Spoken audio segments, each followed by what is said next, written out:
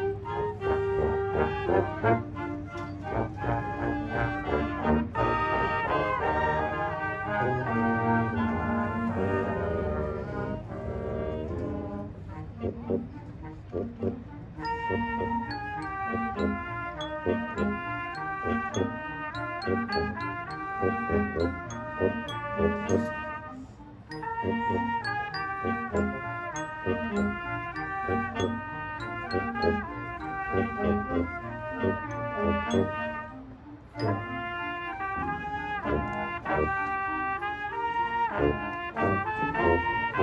you.